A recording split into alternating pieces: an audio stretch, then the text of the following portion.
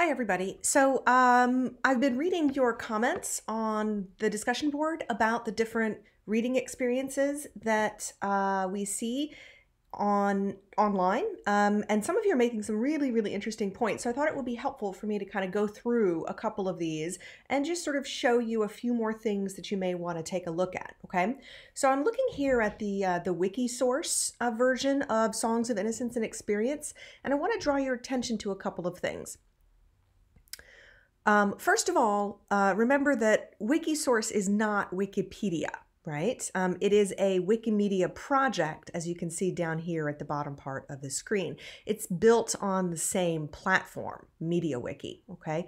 Um, so uh, that's just one thing to keep in mind. Um, the other thing is that, you know, some people have questions about the reliability of Wikipedia because anybody can edit it. Well, that's true, right? But anybody can edit any website who put it up there is the question you ought to be asking, right? and is it clear, right? So um, some people made some interesting comments about this one. So let's just take a kind of a quick look, all right?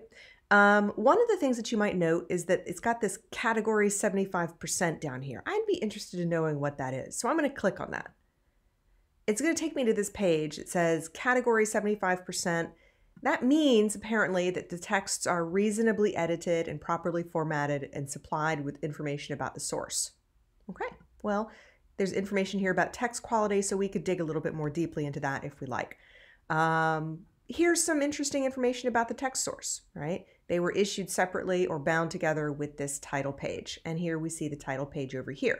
So remember, Blake's poems are originally produced not as just text like this that you can copy and paste, but images like this. So this is the actual original text or an approximation of the actual original text. It's still a digital version. It's this particular version, right?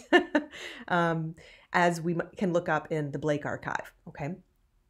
So there are a couple interesting things that are going on here, right? Um, we have we know that it's uh, at least we believe, right, that it's about seventy five percent accurate.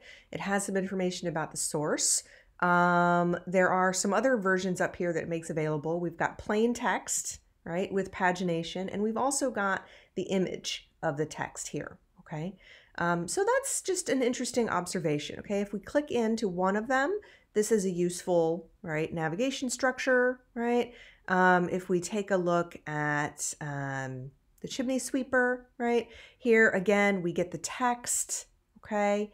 Um, we get an image of the plate itself so we can actually see the um, original illumination or an original illumination. Note that here we don't get the particular version number, right? So that's something that's unclear.